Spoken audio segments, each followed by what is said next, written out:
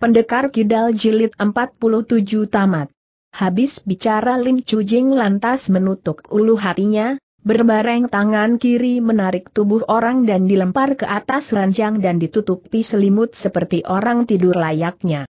Lalu dia menarik daun pintu, lalu cepat ia menuju ke Margo Jonggi, langsung dia dorong pintu dan masuk, Go Heng, segera kau pilih enam orang yang mahir menggunakan senjata rahasia, suruh mereka ikut aku. Go Jonggi mengiyakan, tanyanya sambil mengawasi Lim Chujing, Lim Heng hendak suruh mereka ke mana? Sudah kuselidiki pada sebuah rumah penduduk ada sembunyi kaum pemberontak, akan kubawa mereka untuk membekuk orang, kau tak usah banyak tanya. Toa Pan pernah berpesan agar seluruh anggota Bayangkari tunduk pada perintah dan petunjuk Lim Chujing, maka Gojonggi tak berani banyak bicara, setelah mengiyakan dan bertanya pula, Lim Heng suruh mereka berkumpul di mana? Suruh mereka keluar dari pintu belakang hotel ini, setiba di ujung jalan sana, mereka harus tunggu perintahku di tempat gelap. Sementara kau dan empat orang yang lain harus tetap siaga di sini, setapak pun tak boleh pergi. Go Jonggi mengiyakan terus bergegas keluar. Lim Chujing pun segera keluar, tidak lama dia menunggu di ujung jalan kecil sana, maka orang yang dia inginkan pun berdatangan. Chu Mi beri tanda gerakan tangan, segera beberapa orang berlari mendatangi. Chu Mi membawa mereka ke suatu tempat gelap yang tersembunyi, dia hitung jumlah orangnya ada enam orang, katanya, barusan apakah Golingpan sudah menjelaskan kepada kalian? Salah seorang menjawab sambil mimbungkuk, lapor Jilingpan, Golingpan sudah pesan, katanya Jilingpan akan memberi tugas khusus kepada kami, maka kami disuruh tunduk pada perintahmu. Betul, ucap Cujing dengan menahan suara, tadi sudah berhasil kuselidiki suatu rumah penduduk yang menyembunyikan kaum pemberontak, mereka akan bertemu pada kentongan kedua malam nanti, kita harus siapkan lebih banyak senjata rahasia, pada saatnya nanti tanpa bersuara dapat kita bereskan mereka dengan senjata rahasia. Keenam orang itu serempak mengiyakan. Baiklah, kalian sekarang ikut aku, ucap Lim Chujing. Lalu dia mendahului Mi lompat ke sana diikuti keenam orang itu, cepat sekali mereka sudah tiba di tempat yang dituju. Melihat cuaca cujing taksir temponya sudah dekat kentongan kedua, kira setengah jam lagi gerakan akan segera dilaksanakan, maka dia pimpin keenam orang itu memasuki jalan sempit yang jorok itu. Sebelumnya dia menerawang keadaan di sekitar sini maka dia sebar keenam orang itu ke atas wuwungan rumah penduduk di sekitarnya, masing dipesan menyiapkan senjata, diserukan sebelum lawan mendekati rumah penduduk nomor lima mereka dilarang turun tangan. Tanda petik. Setelah mengatur, dia M. Lim Chujing bergembira, pikirnya, setelah kentongan kedua nanti, biarlah kalian saling cakar dan baku hantam sendiri. Sigap sekali Cujing melompat turun, dengan mengembangkan ginkang langsung dia berlari sekencang angin menuju ke kota barat, Tujuannya adalah kebun bunga keluarga kau. Malam pekat, tembok tinggi Mi Magari taman yang lebat ditanami pepohonan, alam semesta ditabiri kabut tebal. Karena taman ini menjadi kediaman pribadi Komandan Pasukan Bayangkari Maca M. Kisengjiang yang cukup berkuasa dan disegani, meski berkepandaian tinggi dan nyalinya besar, betapapun Cujing tidak berani gegabah, setelah hinggap di atas temboka, dengan seksama dia periksa keadaan sekelilingnya, setelah itu baru Mila yang turun. Letak di mana dia turun kebetulan berada di sisi sebuah gunungan yang tersembunyi, sebuah jalan beralas batu putih tampak menjurus ke sana menuju sebuah gardu kecil. Gardu pemandangan kecil ini dikelilingi pepohonan yang terawat baik dengan daunnya yang rimbun menghijau. Sudah tentu Cujing tidak sempat perhatikan panorama indah dalam taman, baru saja dia hendak melompat ke sana, tiba didengarnya nyekik tawa geli seseorang, suaranya nyaring merdu, jelas suara seorang perempuan. Di tempat seperti ini, meski itu hanya cekikik tawa seorang perempuan, tapi bagi pendengaran Lim Cujing sungguh amat mengejutkan, lekas dia berhenti beraksi serta pasang metu ke sekelilingnya.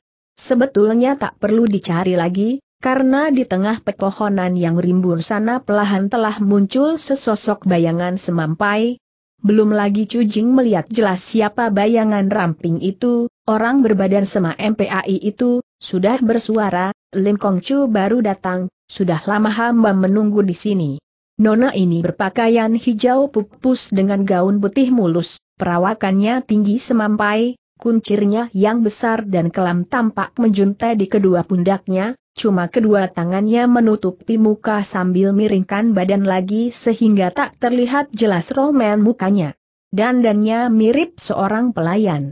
Sekilas Milenggong Lim Cujing lantas bertanya dengan merendahkan suara, Nona bayangan ramping itu cekikikan.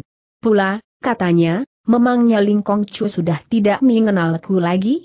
Hamba adalah Hing Jun, baru sekarang dia berputar menghadap kemari.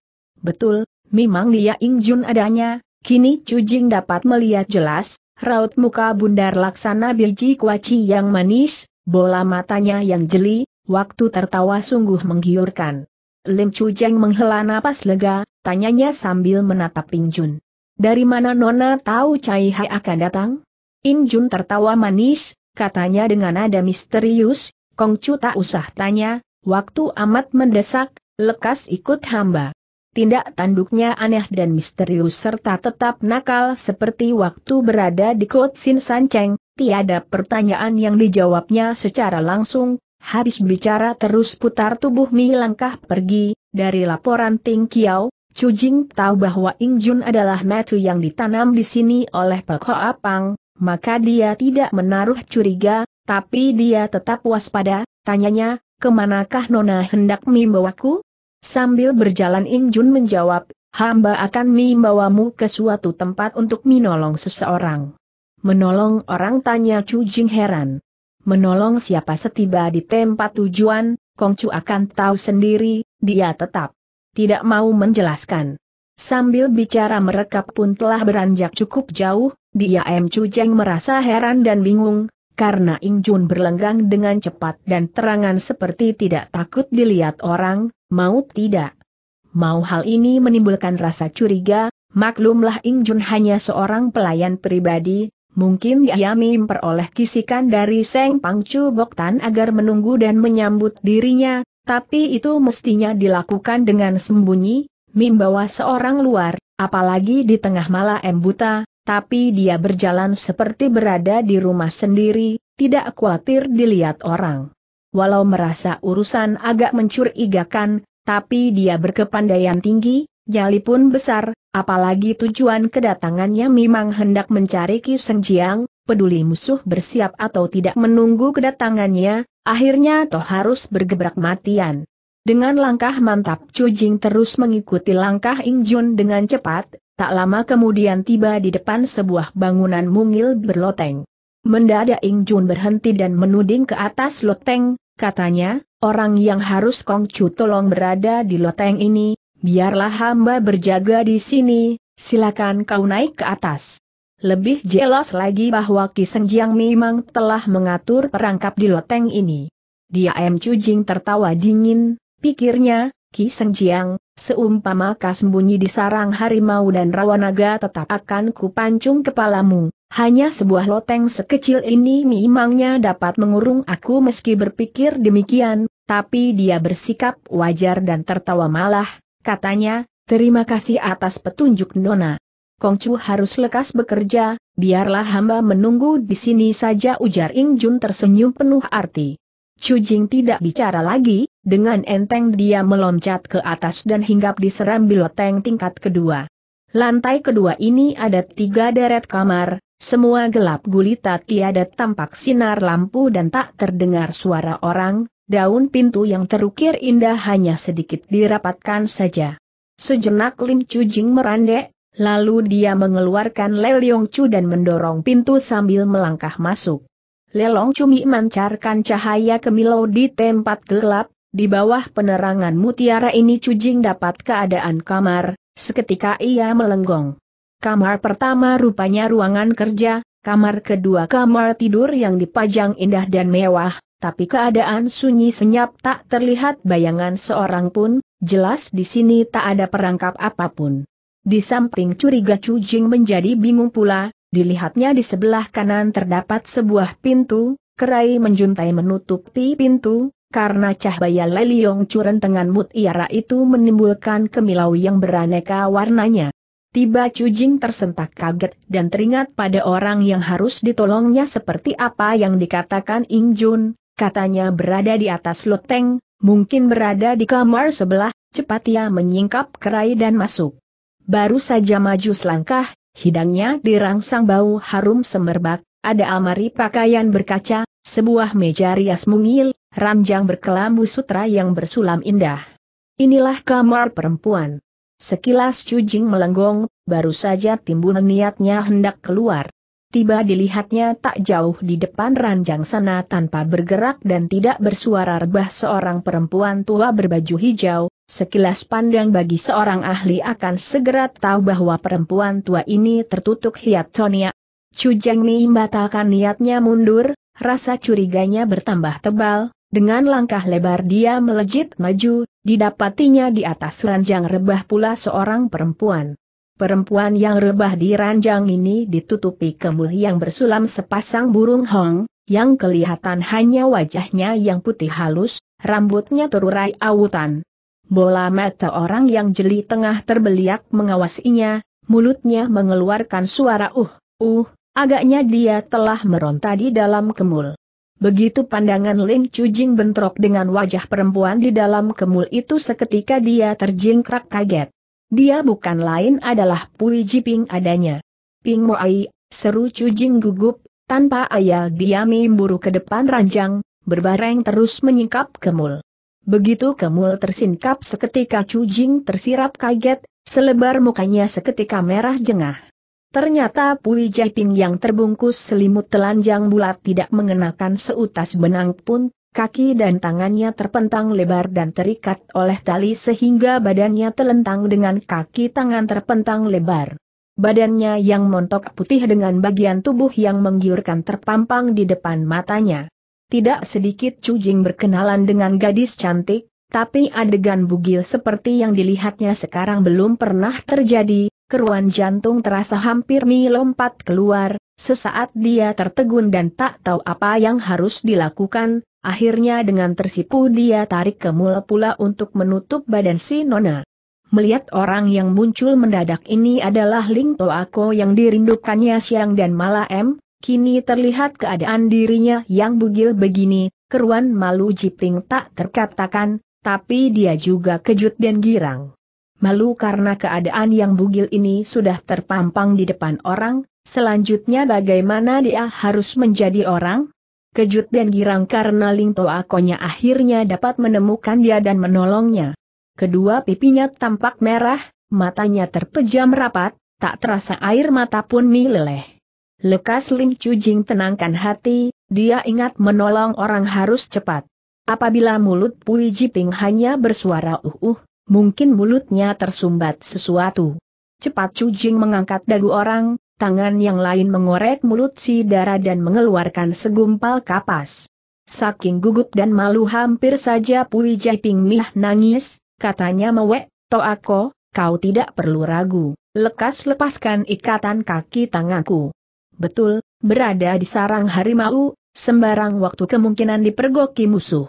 Tanpa ayal Cujing segera bekerja, tapi dia tidak berani menyingkap kemu lagi, hanya kedua tangan yang terjulur masuk, dia kerahkan tenaga pada jari tangan, sejak mulai dari pergelangan tangan yang terasa, halus terus naik ke lengan, satu persatu dia jepit putus tali pengikatnya. Celakanya di tubuh Pui Jaiping masih ada empat tali pengikat, untuk memutus empat tali inilah dia merasa serba susah. Tali pertama melingkar dari depan dada tepat di atas bukit Pui Jaiping terus melingkar ke belakang, tali kedua melingkari pinggangnya, dua tali yang lain masing melenggu paha dan pergelangan kaki. Meski teraling kemul, tetap tangannya akan menyentuh bagian badan yang montok dan lunak itu, tidak kepalang malu Pui Jiping, terpaksa dia pejamkan mata jantungnya berdetak laksana deburan ombak mudra. Untunglah tali yang mengikat dadanya lekas sekali sudah terputus. sudah tentu Cujing dapat merasakan gerakan badan Pui Jiping sehingga kedua tangan yang memang gemetar itu semakin bergetar, jantungnya serasa mau mi lompat keluar. Untunglah putusnya tali pengikat telah menyadarkan pikirannya, diam dia merasa malu sendiri, lekas dia meraba ke bagian pinggang, beruntun dia putus pula tali pengikatnya. Kini dia tinggal memutus tali yang melingkari paha dan kaki. Mungkin sudah teramat lama Pui Jaiping terbelenggu hingga jalan darahnya terganggu, badan terasa kemeng, seketika kaki tangan tak mampu bergerak, dia meringkuk dalam kemul serta berseru pelahan, Toako lekas carikan pakaianku.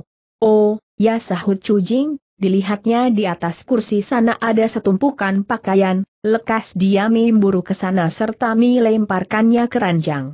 Toako, seru Jaiping malu, lekas kau putar ke sana. Tanpa bicara Cujing berputar membelakanginya.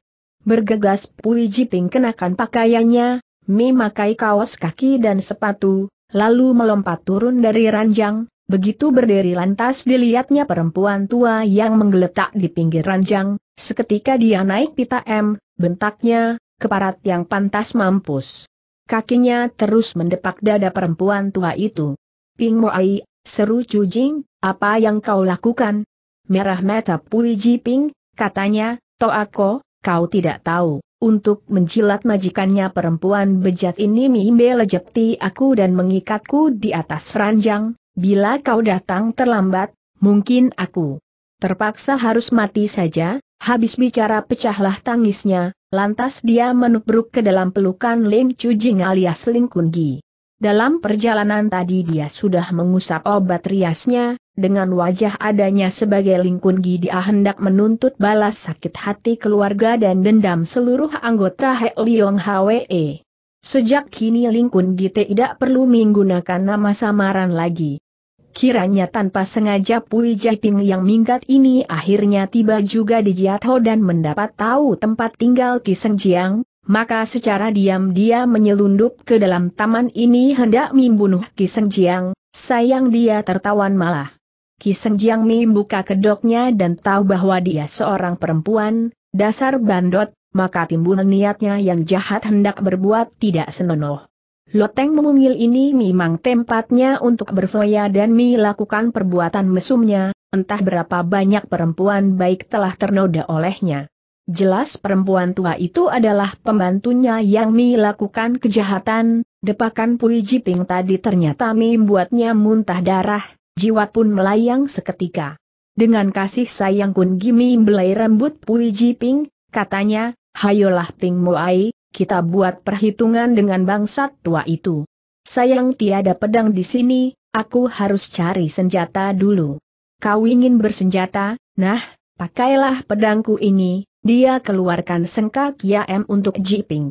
Mereka mi lompat ke bawah loteng, Injun ternyata masih berdiri di bawah pohon, melihat mereka turun cepat dia mapaka maju, katanya dengan tertawa, selamat Ling Kongcu berhasil menolong Nona Pui. Siapa kau bentak Pui Jiping sambil menuding dengan pedangnya.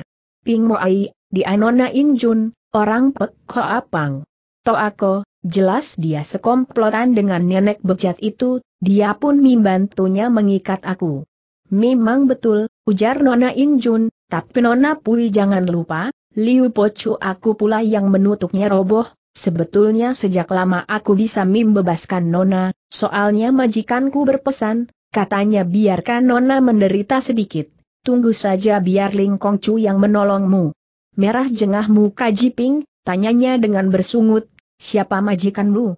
Injun tertawa penuh arti, katanya, hamba menunggu di sini untuk membawa kalian menemui majikanku. Kiseng Jiang berada di mana tanya Kungi. Ling Kongcu dan Nona Pui tak usah banyak tanya, mari ikut hamba saja, ucap Injun. Baiklah, akhirnya Kungi mengangguk, silakan Nona tunjukkan jalan. Dengan tersenyum Injun beranjak pergi, Kungi dan Jiping sama mengintil di belakangnya. Pepohonan dalam taman betul er imbun, malah em gelap lagi, meski banyak gardu pemandangan yang tersebar di sana-sini, tapi hanya kelihatan bayangannya saja tanpa terlihat ada sinar pelita, akhirnya mereka di depan sebuah gedung bertingkat lima. Gedung ini serba ukiran, dikombinasikan dengan cat warna-warni yang serasi, maka kelihatan megah dan angker. Di depan terdapat lima susun undakan batu marmer taman seluas ini seluruhnya gelap gulita, hanya gedung berloteng inilah cahaya lilin masih terang benderang, mungkin di sinilah Kisenjiang bertempat tinggal.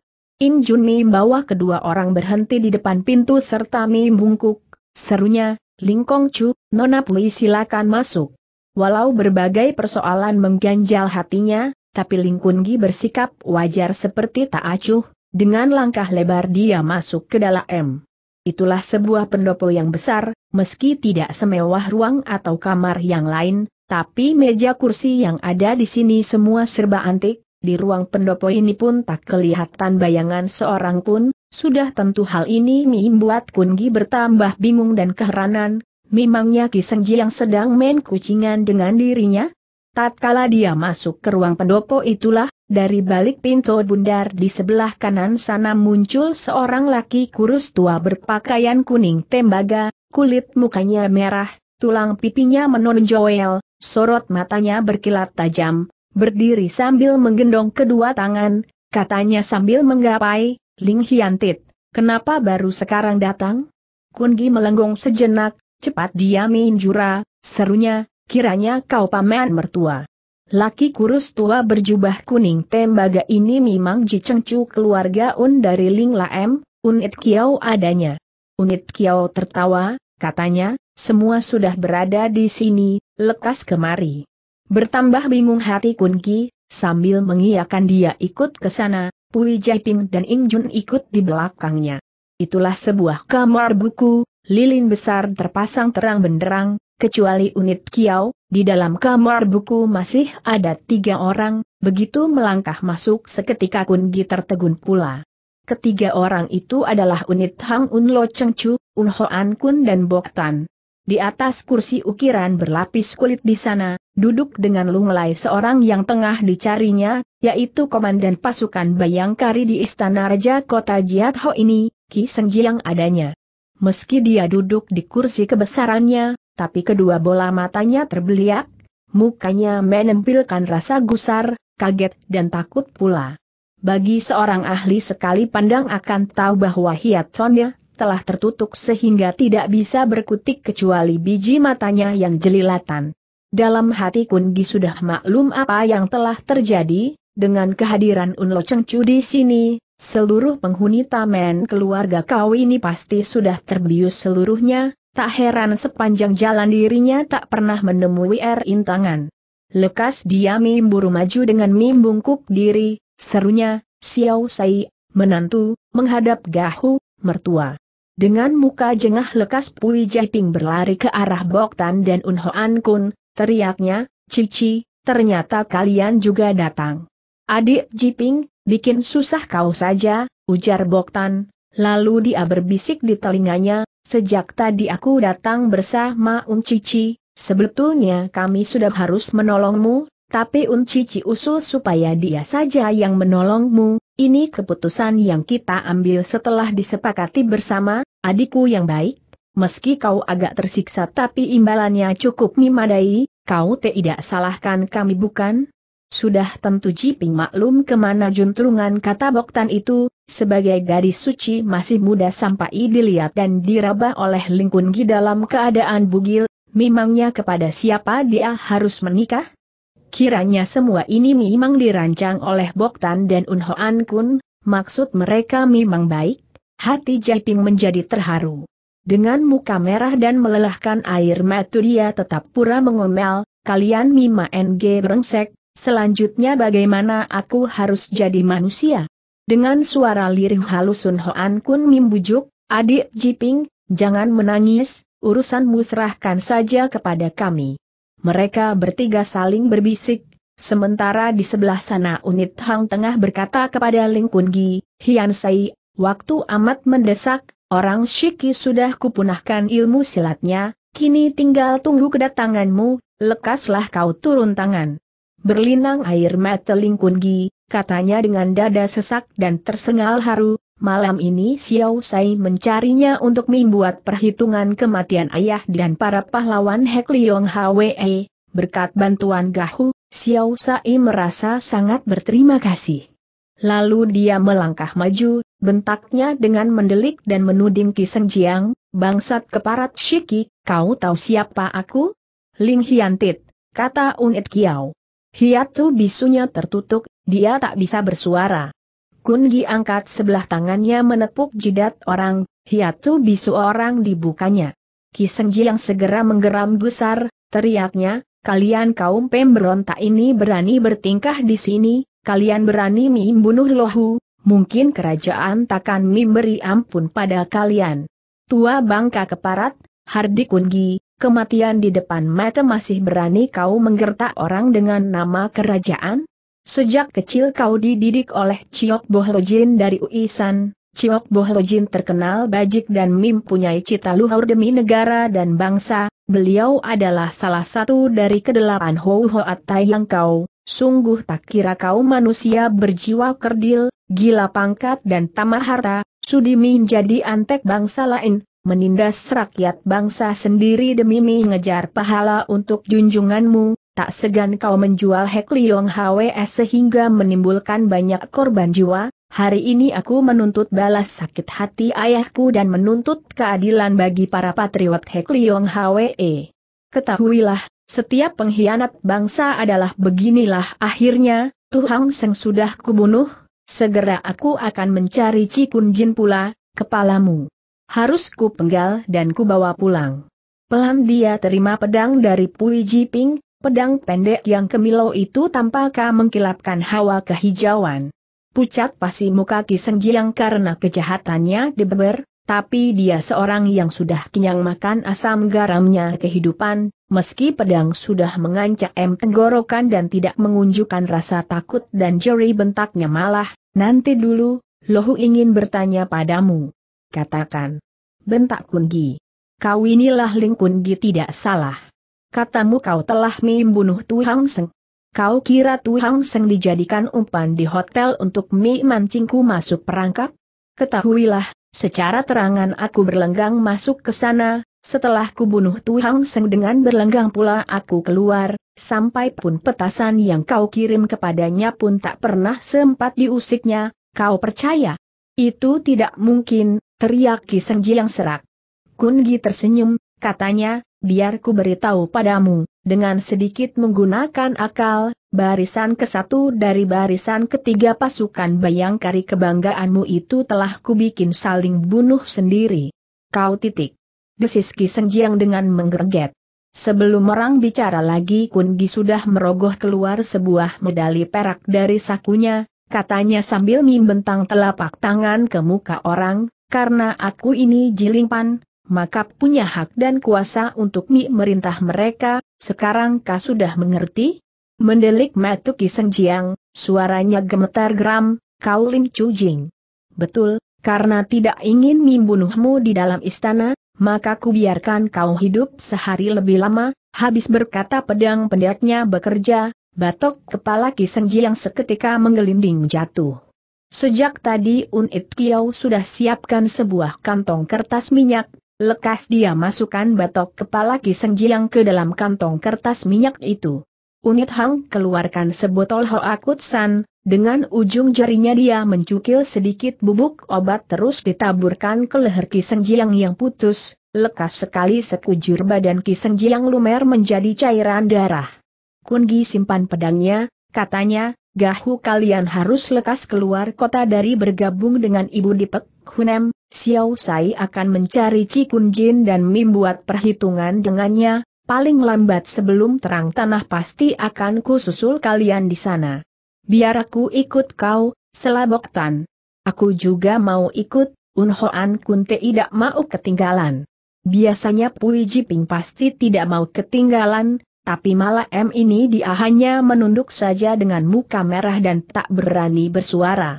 Cikun Jin adalah majikan Teng San ujar Kungi, untuk membunuh dia aku seorang diri sudah lebih dari cukup kalian tak usah ikut, tunggu saja di luar kota bersama ibu. Lalu dia menjura pada Un Cheng Chu berdua, sekali berkelebat bayangannya melayang keluar jendela dan lenyap di telan kegelapan. Teng Ken adalah bangunan tujuh deret, setiap deret dibatasi pekarangan luas.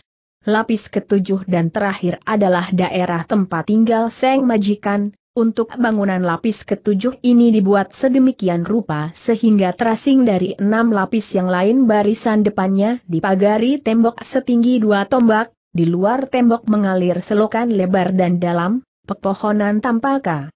Rindang dan tumbuh subur serta terawat baik, Tanahnya jauh lebih luas pula dari keenam lapis yang lain, pintunya terbuat dari papan besi yang bercat merah, dua singaan tembaga bertengger di kiri kanan pintu, mungkin setiap hari dibersihkan hingga kelihatan mengkilap.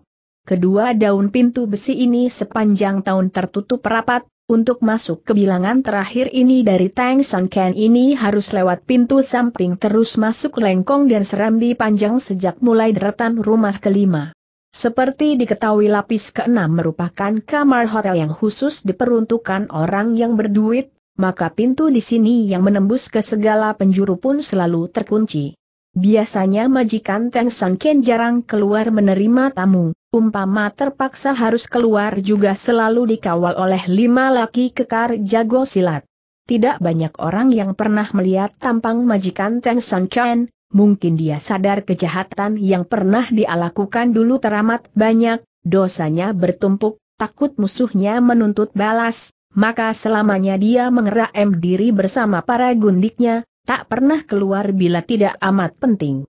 Sudah tentu Ling Kun Gi tidak masuk lewat serambi, ia pun tidak mengusik orang di Teng San Chan, tapi dikala dia hinggap di atas tembok pagar lapis ketujuh, Dua bayangan orang laksana dua ekor elang menubruk ke arahnya, salah seorang di antaranya menghardik galak, siapa kau? Kepandaian orang ini kalau dinilai dari kaum busu yang biasa bekerja mengawal para cukong, boleh dikatakan terhitung kelas satu, sayang mereka berhadapan dengan pendekar Kidaling Kungi.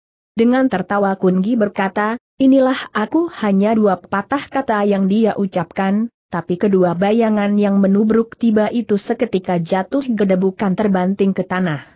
Tanpa membuang waktu Kun Gimi lambung tinggi dan meluncur jauh ke depan ke atas loteng tengah sana.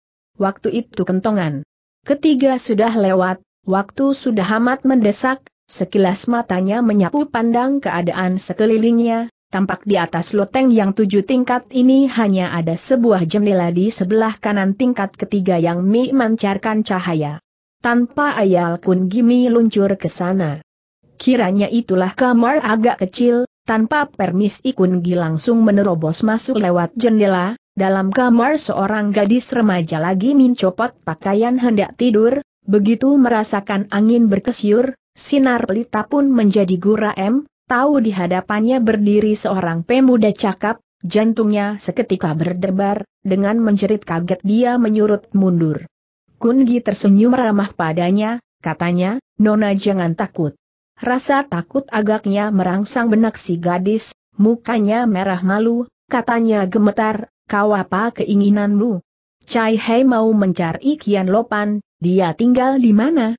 Mengawasi Kunki, Berubah air muka si gadis, mimiknya menunjukkan rasa kecewa, sambil menggigit bibir dan menggeleng, akhirnya menjawab, aku-aku tidak tahu. Kungi maju selangkah, katanya, Cai Hai takkan menyakiti Nona, tapi kalau Nona tidak mau menerangkan, terpaksa aku menggunakan kekerasan. Seret dia melolos pedang yang kemilau terus menuding ke dada si gadis. Wajah si gadis yang semula merah seketika berubah pucat, Serunya gemetar, kau mau membunuhku? Penang suara Kungi, aku tidak akan membunuhmu, asal kau tunjukkan tempat tinggal Kian Lopan, jiwamu akan kuampuni. Dia titik dia tidur di kamar Saem Ihtai, di mana letak kamar Saem Ihtai? Kamar ketiga bagian belakang. Kau tidak mendusai aku aku menjawab sejujurnya. Baik, Ujung pedang Kun Gi tiba menutul dari balik pakaian dia tutup hiatsu penidur orang, lewat jendela dia melompat ke hubungan terus melejit ke belakang, di sini merupakan pekarangan yang teramat indah, di sebelah depan ada deretan kamar bertingkat pula.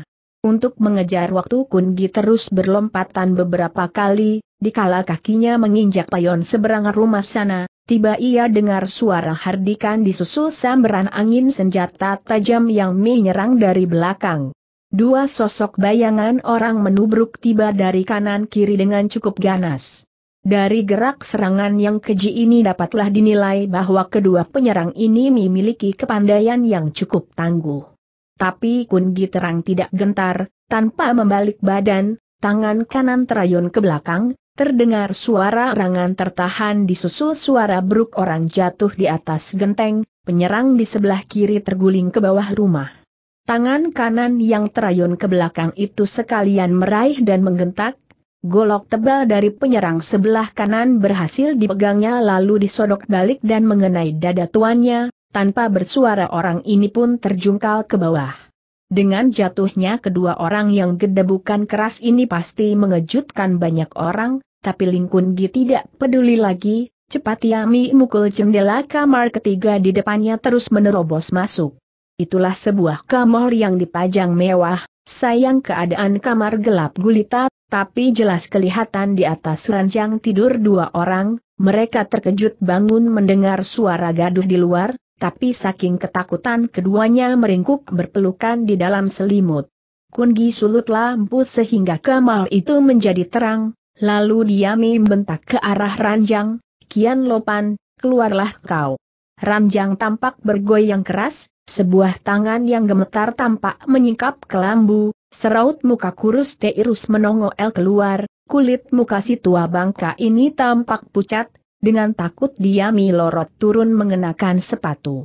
Usia laki ini sekitar lima puluhan, rambut sudah beruban, kumisnya jarang jenggot pun hanya secomot, matanya yang sipit membentuk segitiga mi mancarkan rasa takut. Setelah dia melihat orang yang bertolak pinggang di dalam kamarnya ternyata hanya seorang pemuda yang bertangan kosong, rasa kedernya lantas lenyap sebagian besar, lekas dia tenangkan diri lalu unjuk tawa kecut, katanya munduk, Chongsu ini malam buta berkunjung kemari, entah ada keperluan apa, dalam pada itu suara ribut telah terjadi di bawah loteng banyak orang berteriak menangkap maling cahaya obor pun kelihatan terang. Kungi tidak hiraukan kegaduhan di bawah, tanyanya dengan suara kering, kau nikah Kian Lopan, pemilik Cheng San Ken. Mendengar orang bicara dengan nada ramah, apalagi orangnya sudah ribut di bawah loteng timbul nyali si tua kurus, katanya mengangguk, Lo esi umi mang orang Shikian, Silakan Chong Su utarakan maksud kedatanganmu, asal Siu mampu. Mendengar orang bicara dengan nada ramah, apalagi orangnya sudah ribut di bawah loteng timbul nyali si tua kurus, katanya mengangguk, Lo esi umi mang orang Shikian, silakan Chong Su utarakan maksud kedatanganmu, asal Siu mampu. Tutup mulutmu Hardi Kungi bengis, sorot matanya tiba mi mancar berapi aku tidak ingin memeras hartamu. Kian Lopan menelan air liur, tanyanya, lalu Chongsu? Jawab pertanyaanku, apakah asal suci? Bergidik si tua tirus, sahutnya tergagap, bukan, bukan, Lo Xiu Shi Kian. Kian artinya, mungkin dia tidak melihat bahwa Ling. Kungi menyelipkan pedang pendeknya di pinggang, mendadak dia berteriak keras, tolong! Ada maling di sini. Seret, Selarik sinar terang terayun dari tangan Kungi, ujung pedangnya yang tajam kemilau mengancam di depan hidung Kian Lopan, jengeknya, orang Shikian, berani kau mungkir akan kuiris dulu hidungmu. Lekas katakan, bukankah kau ini Cikun Jin? Saking ketakut Tokian Lopan manggut, sahutnya, ya, ya, aku. Titik aku memang Cici Kunjin. Beringas muka Kungi, tanyanya, baik, Jawab pula pertanyaanku, dulu kau pernah menjadi sekretaris kota yang menjabat gubernur Soatang? Chongsu, kata Cikun Jin dengan muka kecut, hal itu sudah lama berselang. Batang pedang Lingkun Gi yang mengancam hidung orang tampak gemetar saking menahan emosi serunya bengis, bagus sekali, tentunya kau masih ingat kejadian 20 tahun yang lalu, Pernah kau mengusulkan muslihat keji kepada si bangsat tua Kok Tai itu untuk menghancurkan Hek Liong Hwe Edikun Lunsan, ratusan patriot bangsa telah gugur karena muslihatmu, Ki Sengji yang sudah ku penggael kepalanya, kini menjadi giliranmu. Pucat bagai kertas muka Cikun Jin, tiba dia menjatuhkan diri menyembah berulang seraya berseru, ampun Chongsu, Lo Siu dipaksa untuk melakukan itu. Tiada ampun bagimu, aku datang ke Jiat Ho ini untuk menuntut balas kematian para pahlawan Hek Liong Hwe, menuntut balas sakit hati kematian ayahku, siapa pun yang menjadi pengkhianat bangsa dan sudi menjadi antek penjajah akan menemui ajalnya sesuai dengan ganjaran perbuatannya, dan lagi supaya kau mengerti aku inilah Ling Kun Gi, putra Ling Tiang Hong, Hwe Chu He Liong Hwe dulu, kau sudah dengar jelas. Habis bicara, kerat, begitu sinar pedang berkelebat, batok kepala Ci Kun Jin mencelat dari batang lehernya. Sekali tendang Kungi. Lempar jasad Ci Kun Jin, dengan kalem dia masukkan batok kepala orang ke dalam kantong kertas minyak terus melompat keluar jendela, dalam sekejap bayangannya sudah lenyap. Besoknya kota Jiatho jadi geger, komandan tertinggi pasukan Bayangkari yang paling berkuasa di Istana Raja ternyata menghilang tanpa jejak. Tu Hang Seng yang tinggal di Lasmen Liong Kip juga mati, Cukong atau pemilik Cheng San Ken Kian Lopan juga mati terbunuh dengan kepala terpenggal, lebih celaka lagi adalah Kelo MPO kabarisan pertama pasukan Bayangkari telah dihajar habisan oleh Kelo MPO ketiga dari pasukan yang sama, kedua pihak jatuh korban cukup banyak. Menurut dugaan kejadian ini adalah berkat kerja dan rencana keji kaum pemberontak yang mau menuntut balas. Maka keempat pintu kota kini ditutup rapat, rakyat tidak diperbolehkan keluar masuk, Seluruh kota dirazia, digeledah untuk menangkap kaum pemberontak. Pada persimpangan jalan sebelah barat kota Jiatho, di bawah sebuah pohon besar diparkir sebuah kereta, yang ditarik seekor kuda, kusir keretanya adalah seorang laki tua bermuka kuning. Dalam kereta duduk empat orang perempuan, ibu beranak, menantu dan seorang pelayannya. Seng mertua kelihatan berusia enam puluhan, Menantunya adalah perempuan muda yang cantik jelita, putrinya adalah gadis remaja yang baru berusia 18, pakaian mereka sederhana, jelas mereka dari keluarga menengah. Tak jauh di sebelah sana ada dua orang penjual kain kelilingan, seorang berusia lima puluhan, tingkah lakunya lucu seperti orang sinting, seorang tahu laki lima puluhan, mukanya merah, tubuhnya kurus. Dalam jarak satu panahan maju ke depan lagi, masih ada MPO ke orang, keadaannya jauh lebih mentereng, mereka adalah ayah beranak lima orang, ada laki ada perempuan, sang ayah. Berwajah putih bersih, jenggot hitam menjuntai di dada, mengenakan jubah biru bersulam kembang, sepatunya tinggi terbuat dari kulit, seorang lagi adalah pemuda bersama tiga orang adik perempuannya. Si pemuda berperawakan kekar gagah, demikian pula ketiga nona itu sama cantik dan segar bak bunga baru mikar masih ada lagi dua kacung yang merawat kuda. Dilihat dari dandanan mereka, kemungkinan adalah keluarga berpangkat yang sedang lewat dan istirahat paling tidak kaum bangsawan entah dari mana. Tiga kelompok orang ini meski sama istirahat di tempat yang berlainan, tapi kelihatan mereka seperti sedang menunggu orang, entah siapa. Karena mereka sering berpaling ke arah kota di mana jalan raya itu menjurus. Tentunya para pembaca maklum orang ini ialah Ti Hujin, Boktan, Pui Jaiping bersama pelayan Ing Jun, kakek yang jadi kusir adalah Ting Kiao. Kedua penjual kelilingan adalah Unit Hang, sementara lima orang di bawah pohon sana adalah Chia M Leong Chu Bun Hoa, Chu Yahim, Pong Xiao Hing, Pong Bun Hing dan Un Hoan Kun, kedua kacung adalah Ban Jin Chun dan KHO Kehoa. Mereka sudah berjanji dengan Ling Kun Gi untuk menunggu kedatangannya di sini. Mereka sudah menunggu sekian lamanya, selagi hati tidak sabar dan gelisah tertampak dari ujung jalan raya sana muncul setitik bayangan orang meluncur sepesat kuda Mimbeda El. Nah itu toh aku sudah datang Pui Jiping mendahului berteriak sambil berjingkrak girang. Yang datang memang Ling Kun Ki, ia membawa sebuah buntalan kertas minyak, jelas isi kantong adalah batok kepala Im Si Boan Koan Cikun Jin. Kun Gi langsung menuju kereta, setelah dekat dia lempar buntalan kertas minyak itu terus menjatuhkan diri berlutut, air matanya bercucuran, serunya, Bu, syukurlah anak berhasil. Menuntut balas sakit hati ayah, menebus dendam kesumat kematian para pahlawan Hek Liong Hwe. Sambil berlinang air mata, teh hujan manggut, katanya, anak baik, bangunlah, ibu sudah tahu jelas memang tidak malukah sebagai putra Ling Tiang Hong, sebagai cucu yang baik dan berbakti terhadap kakak luarmu, hayolah kita lekas berangkat. Bok Tan menggeser tempat duduknya, dengan suara merdu mesra dia berkata, marilah kau naik ke kereta. Tanpa bicara Kun Gi lompat ke atas kereta. Tanpa diperintah lagi Ting Kiao menurunkan kerai terus lari ke depan sambil mengayun cambuk, tar, kuda segera mencongklang ke depan, menyusulun It Hong, unit Kiao dan lain mencemplak kuda masing dan menyusul dari kejauhan. Jalan raya ini menjurus ke Pakau, tiga kelompok berangkat sendiri, sudah tentu tidak menarik perhatian orang. Tapi baru kira tiga li jauhnya mereka menempuh perjalanan, tampak di kejauhan di tengah jalan raya berduduk tersimpul lima orang lama berkasa merah yang berusia lanjut.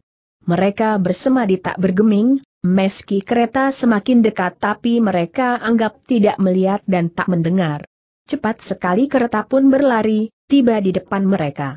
Dari kejauhan Ting Kiau sudah bersiap, Kira tiga tombak jaraknya dia tarik tali kendali menghentikan lari kudanya, tapi kereta masih terseret maju setombak lebih. Ting Loto A, kata Ti Hujin, ada kejadian apa di depan? Ting Kiao menyahut, lapor Lotai, ada beberapa lama mengadang di tengah jalan, lalu dia menambahkan dengan suara lirih, agaknya mereka bermaksud kurang baik. Maka terdengar salah seorang lama yang tertua paling tengah angkat kepala dan bersuara kalem, maksud kami bukan jahat, lolap berlima hanya ingin menemui satu orang. Boktan segera berbangkit, katanya sambil menyingkap kerai, Lo Suhau, kami kaum perempuan ingin lekas masuk kota, jangan kalian salah alamat. Mana mungkin lolap salah mencari orang ucap lama tertua, Bukankah dalam kereta kalian ada Xiao Si Chu jelas mereka ingin membuat perhitungan dengan Ling Kun Gi. Ti Hujin mengerut kening, katanya lirih, kelima orang ini seperti kaum lama. Sian Chai. Sian Chai, ucap lama tertua, rekaan Hujin memang betul. Bu, kalau mereka menunjuk diriku, biarlah anak turun bicara dengan mereka, kata Kun Gi. Kedatangan mereka bermaksud tidak baik, kau harus hati, demikian pesan Boktan. Biar aku juga turun, seru Jiping. Lekas Tehujin minariknya, katanya, anak di boleh turun dan tanyai mereka, kau tak usah turut campur. Kun Gilantas milangkah turun, tampakah kelima lama ini masing menduduki satu posisi tertentu, semuanya duduk semadi memejamkan mata hingga berbentuk sebuah lingkaran, cepat dia menjura, sapanya, Para suhu hendak mencari Cai He, entah ada petunjuk apa. Lama tertua yang menjadi pemimpin membuka kelopak matanya, kedua tangan terkatup di depan dada, katanya, Omi Tohut. Apakah Xiao Si Chu inilah Ling Kungi? Kungi mengangguk, sahutnya, betul, Cai He memang Ling Kungi. Ada suatu soal ingin kutanya kepada Xiao Si Chu, kata lama tua. Soal apa, silakan bicara. Lola punya seorang murid, bernama Petoh, apakah dia mati terbunuh oleh Xiao Sichu? Bergetar hati Kunki, seperti diketahui lama kasa merah yang bernama Petoh mati di tangan bibinya sebagai Mahapang Cupek Koapang, tapi Seng Bibi sekarang sudah wafat, biarlah dirinya yang mimikul tanggung jawabnya. Maka dia mengangguk, katanya. Betul, muridmu itu adalah Hek Liong Hwe Ehou Hoat, Cai He menuntut balas pada Han Jancu atas kematian ayah almarhum, tapi muridmu menempilkan diri, terpaksa dia gugur di bawah pedangku. Sikap lama tua tetap tenang tanpa marah sedikit pun, katanya mengangguk. Lolap dengar Xiao Sichu ini murid didik Hoan Jiu Jilei, sudah lama Lolap dengar nama besar Hoan Jiu Jilei, sayang selama puluhan tahun belum pernah bertemu, bahwa Xiao Sichu mampu membunuh muridku, itu tandanya kungfumu sudah tinggi, ilmu pedangmu pasti juga amat lihai, Lolap dan para sute ingin menjajal dan menyaksikan ilmu pedang Xiao Sichu, bagaimana menurut pendapat Xiao Sichu? Diam tersirap darah Kungi, sungguh tak nyana bahwa kelima lama tua ini adalah guru dan pamen guru petoh yang lihai itu. Kung Fu petoh pernah dia saksikan sendiri, tarapnya jelas tidak lebih rendah daripada Tai Xiang, bahwa kelima lama tua ini adalah guru dan pamen gurunya, mereka terang memiliki kepandaian yang lebih tinggi daripada Peto. Sebelum Kun Gimi beri tanggapan, lama tua sudah berkata lebih lanjut, Lolap juga dengar bahwa Xiao Si Chu mahir mainkan Hwe Iliong Sa M Kia M, dengan gaya jungkir balik dan terapung di udara sambil menyerang musuh, Lolap lima bersaudara akan duduk bersimpuh di tempat masing dan takkan bergerak dari tempat duduk ini, Asalkan Xiao Sichu dapat mencelat keluar dari tengah lingkaran kami maka kami berlima akan menyerah kalah. Agaknya dia sudah tahu jelas bahwa Awe Iliong M Kiam harus dikembangkan dengan badan terapung dan jumpalitan di udara, dikatakan pula bahwa mereka berlima takkan bergerak dari duduknya, lalu care bagaimana Mirka akan turun tangan? Bila Kun Gi betul mengembangkan Sin Leong Jutun, dengan mudah dia dapat melambung dan jumpalitan keluar dari dalam lingkaran, kenapa lama tua ini berani bertaruh begitu? Tak tahan Boktan lantas melompat turun dan berdiri di samping Kungi, katanya, maksud lo suhu akan bertempur dengan tenaga kalian berlima, kalau demikian biarlah kami berdua menghadani kalian, kan boleh. Sekilas lama tua miliriknya, katanya hambar, Lies Icu ini lebih baik mundur saja. Dia M. Kungi sudah perhatikan kelima lama tua ini memang luar biasa, mereka duduk dengan posisi Hing, lima unsur, kemungkinan akan membentuk semacam barisan pedang yang lihai, dirinya telah mempelajari Hwe Iliong Kiuse. Bisa jadi mampu mengatasi keroyokan lima lawan. Tapi Boktan hanya mimbeka L tiga jurus ilmu pedang, mungkin takkan kuat bertahan, maka dia berkata, Lo suhu ini hanya ingin menjajal ilmu pedang yang pernah kupelajari, memang lebih baik kau undurkan diri saja, lalu dengan menggunakan ilmu gelombang suara diam ia mimbis iki, aku sudah berhasil mempelajari sembilan jurus ilmu pedang peninggalan Tiong yang Jin, umpama tidak menang juga aku masih mampu mempertahankan diri, bila kau berada di sampingku, mungkin malah menghambat gerak-geriku. Sementara itu derap kaki kuda ramai mendatangi, kiranya rombongan Chu Bun Hoa telah tiba. Melihat Kungi berdampingan dengan Boktan menghadapi lima lama yang bersimpuh di tengah jalan raya. Tong Bon Hing dan Un Hoan Kun segera, melejit dari punggung kuda mereka terus hinggap di kiri kanan Ling Kungi. Dengan suara merdu Un Hoan Kun bertanya, apa yang terjadi, mereka mencegatmu? Ini soal memudah, biar aku yang bereskan mereka. Cepat Kun Gigo yang tangan mencegah, katanya, Hoan Moai jangan sembrono, lekas kalian mundur ke belakang. Di dalam kereta teh hujan hanya tenang saja, katanya, anak Gi betul, kalian mundur saja, biar anak Gi menghadani para lo suhu ini. Terpaksa Boktan, Un Hoan Kun, Tong Bun Hing turuti nasihat teh hujin.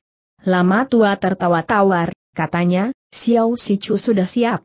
Sudah tentu Kun Gi tak berani gegabah, segera dia keluarkan sengka Kia M. Sementara kelima lama itu pun mengeluarkan senjata yang bentuknya seperti pedang tapi bukan pedang, panjang dua kaki, bentuknya rada aneh, belum pernah ada senjata semacam ini. Maklum, senjata ini Mima NG khas kaum lama, namanya Hiap Ciang Hiap. Bentuknya seperti pedang, pada gagangnya digubat benang emas dan bertatahkan mutu manika M, batang pedang hanya sepanjang satu kaki dan berkemilauan tajam, ujungnya berbentuk gurdi yang runcing bulat, bentuknya lebih mirip kepala ular. Setelah mengeluarkan senjata masing, para lama tetap bersimpuh, metu, terpejam kepala sedikit menunduk, sikapnya tidak seperti jago yang siap tempur. Tapi Kun Gi yang sudah berdiri di tengah mereka merasakan secara langsung bahwa kelima lama ini tengah mengerahkan lekang pada batang senjata ampuh mereka, meski belum lagi bergerak, tapi senjata itu sendiri sudah menimbulkan perbawa yang tidak kecil.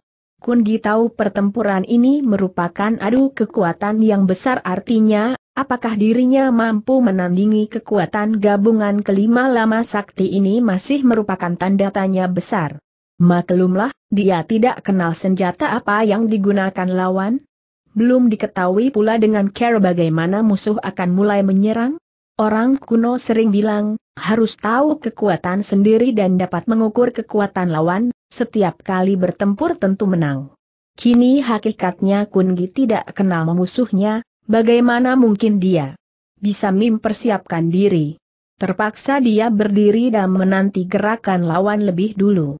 Cukup lama mereka bertahan, kedua pihak tetap diam saja tanpa bergeming, akhirnya lama tertua itu membuka suara, Xiao Sicu berhatilah, berbareng hiap ciang hiap yang tegak di depan dadanya bergetar, segulung hawa getaran senjatanya yang kemilau itu terus menyambar ke depan laksana anak.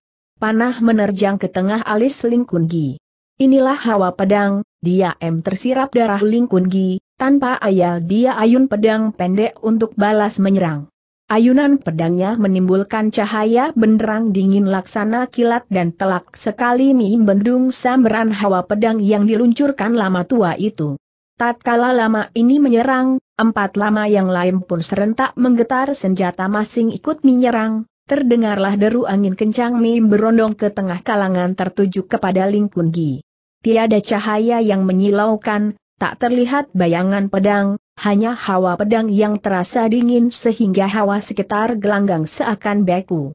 Sekuatnya Kungi mengerahkan segala kemampuannya baru kelima jalur hawa pedang lawan terbendung di luar lingkup cahaya pedangnya, tapi orang yang menonton tidak mengerti sama bertanya dalam hati bahwa kelima lama itu cuma duduk tak bergerak, kenapa Kungi bermain pedang sekencang dan sehebat itu. Hanya Ti Hujin, Un Hong, Cubun Hoa dan Boktan yang sedikit banyak dapat merasakan, walau kelihatan kelima lama ini duduk diam, tapi kemungkinan mereka sudah mulai melancarkan serangan entah dengan care apa kepada Ling Kun Gi. Kalau tidak tak mungkin anak muda itu memutar pedang dengan mengerahkan lewekang sehebat itu.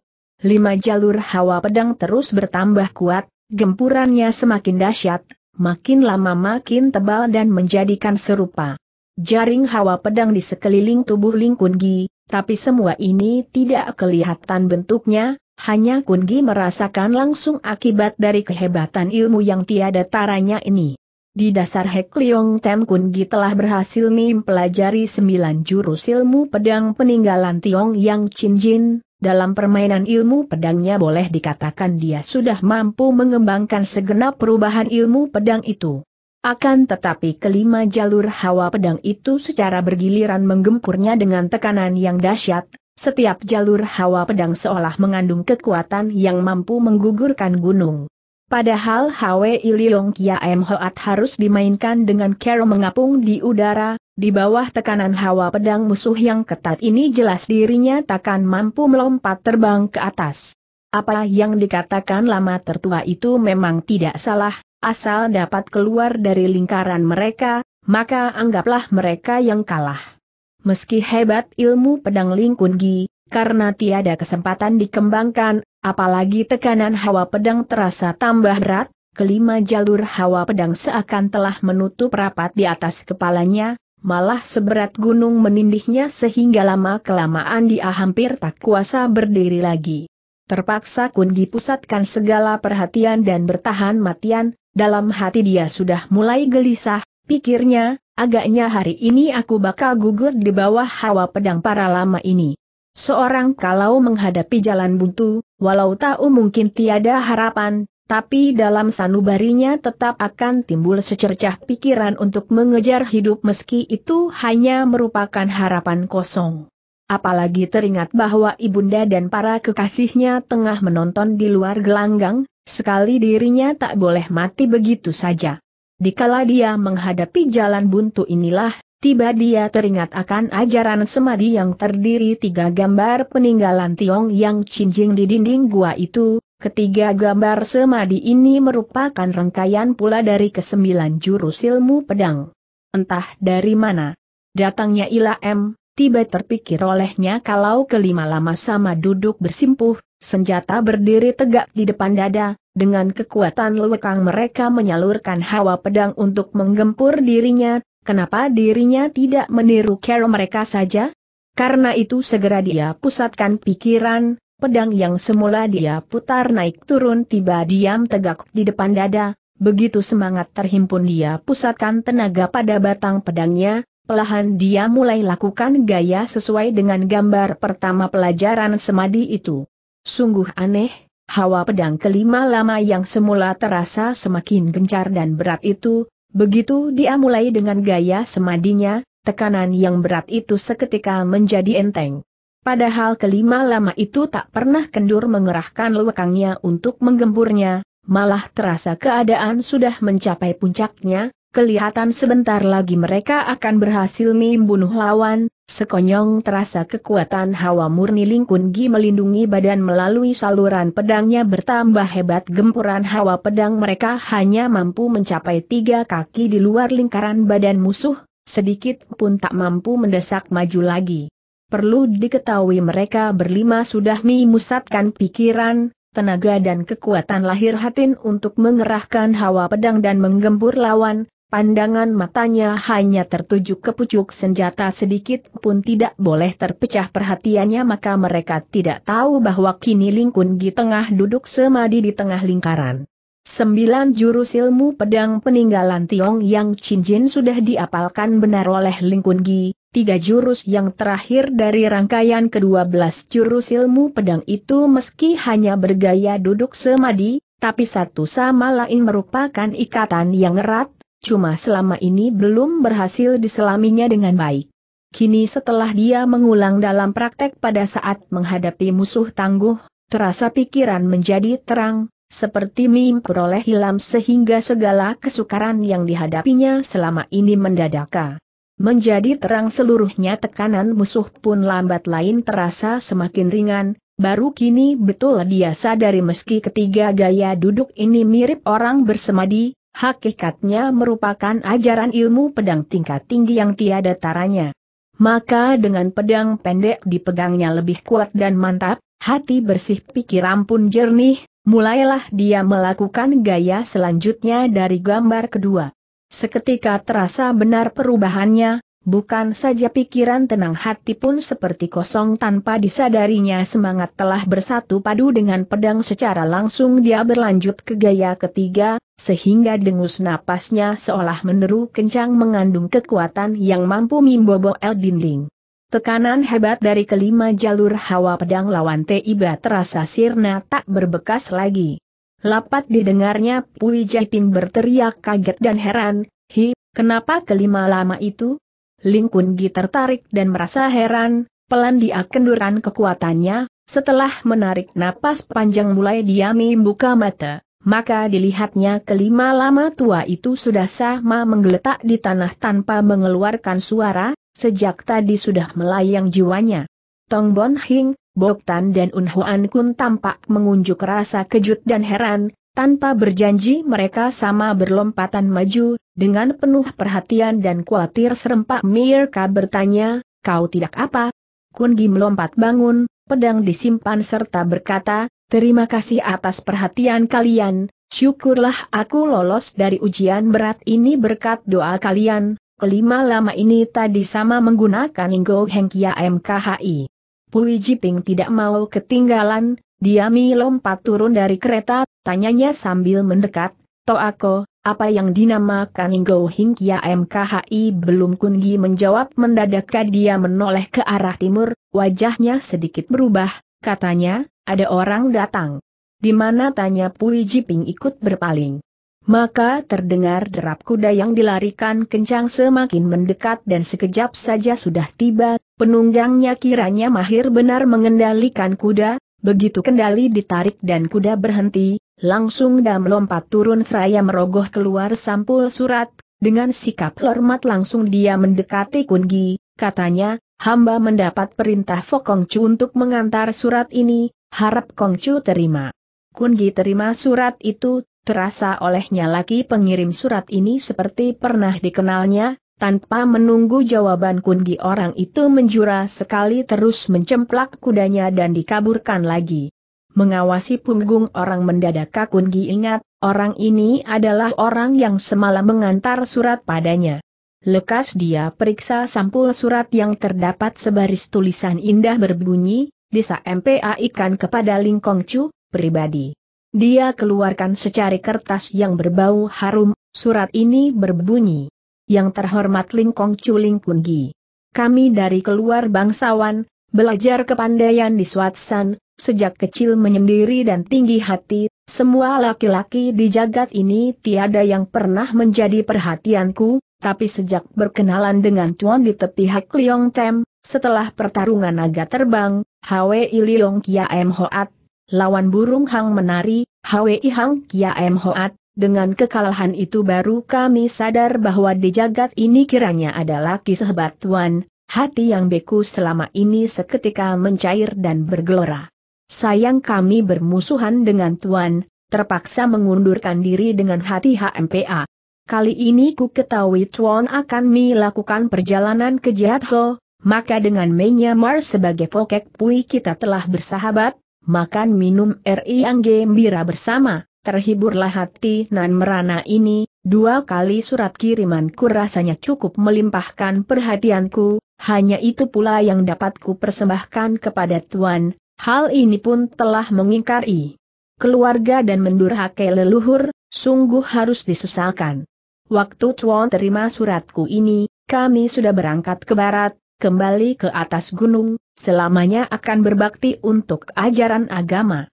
Teriring salam hangat dan bahagia. Cui Kinin. Sampai sekian lama Lingkun Gi terlongong mi megangi surat itu. Kiranya Cui Kin In adalah Fokek Pui putri pangeran Istana Hok. Dia pula yang menyaru jadi pelajar baju putih waktu menolong dirinya di istana. Cui Kin In adalah gadis aneh dan hebat pula, seorang gadis romantis juga. Melihat Kun Gi terlongong sehabis membaca surat, maka beramai orang banyak merubung maju ikut membaca surat itu. Habis membaca Mir Kapun sama Mi ngelana pas sambil menggeleng. Tamat.